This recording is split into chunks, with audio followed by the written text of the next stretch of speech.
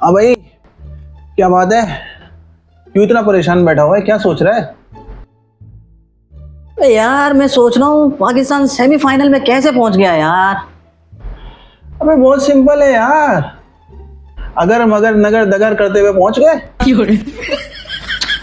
अबे वो तो सही है। पहुँचा कैसे? देख किसी भी कामयाबी के लिए दो चीज़ों की ज़रूरत होती है। एक है दुआ और एक है दवा। अब पाकिस्तानी टीम के लिए पाकिस्तानी अवाम ने दुआएँ की ठीक है? और पाकिस्तानी टीम ने उन दुआओं पे भरोसा किया। समझा?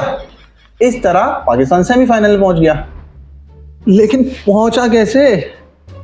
नहीं समझा। मैं तुझे समझाता हूँ।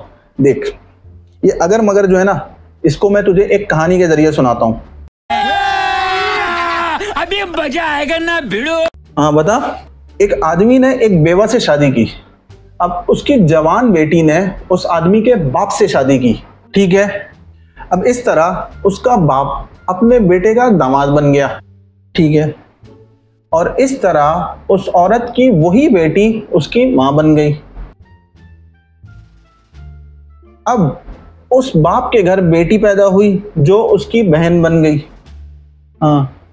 वो आदमी उसकी माँ का शोहर था इस तरह से वो बच्ची उसकी नवासी भी बन गई और इस तरह उस आदमी का जो बेटा पैदा हुआ वो अपनी दादी का भाई बन गया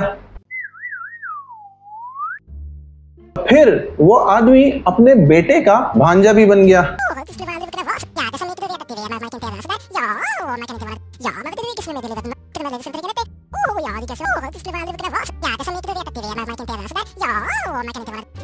बिल्कुल इसी तरह पाकिस्तान अपने शुरू के दो मैचेस तो हार गई थी।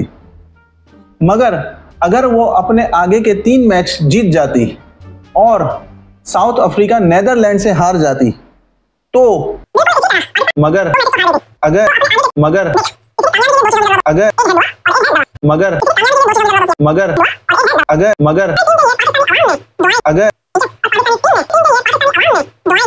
Ten years later. और इस तरह पाकिस्तान सेमीफाइनल में पहुँच गई अच्छा मगर फिर फाइनल का क्या हुआ coming down. The flags